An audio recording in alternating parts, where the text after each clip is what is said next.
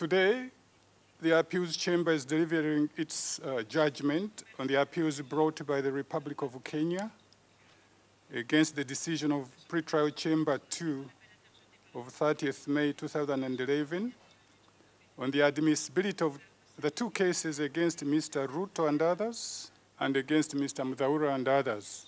The judgment of the appeals chamber is by majority, with Judge Anita Ušacka dissenting.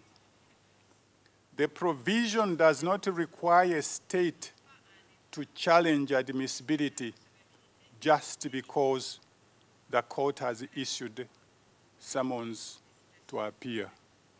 Accordingly, given the specific stage that the proceedings had reached, the appeals chamber finds that the same person, same conduct test that the pretrial chamber applied was the correct one. The pretrial chamber thus committed no error of law. Regarding an alleged error of fact, the appeals chamber has ruled in previous decisions that its review is corrective and not de novo. It will therefore not interfere unless it is shown that the pretrial or trial chamber committed a clear error. That is to say, it's, it misappreciated the facts, took into account irrelevant facts, or failed to take into account relevant facts. As to the misappreciation of facts, the appeals chamber will not disturb the pretrial or trial chamber's evaluation of the facts just because the appeals chamber might have come to a different conclusion.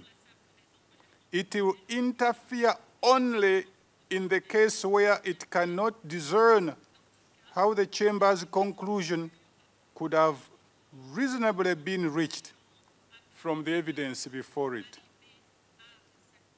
Thus, in the present appeals, unless such clear errors have been demonstrated, the appeals chamber will defer to the pretrial chamber's factual finding that it had not been proven that the appellant was actually investigating the three suspects. The appeals chamber notes that the pretrial chamber found that the appellant's assertions that an investigation was ongoing in respect of the six suspects was insufficient. The pretrial chamber required proof that the appellant was actually taking specific steps to investigate the suspects. The appeals chamber cannot identify any error in this. The appeals chamber is satisfied that the pretrial chamber correctly decided that the cases against the suspects are, ad are admissible. The appeals chamber, therefore, considers it appropriate to confirm the decisions and to dismiss the appeals.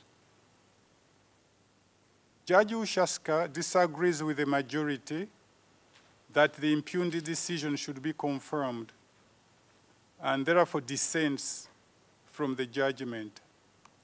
She considers that pretrial chamber 2 erred in the way it conducted the proceedings under Rule 58 of the Rules of Procedure and Evidence.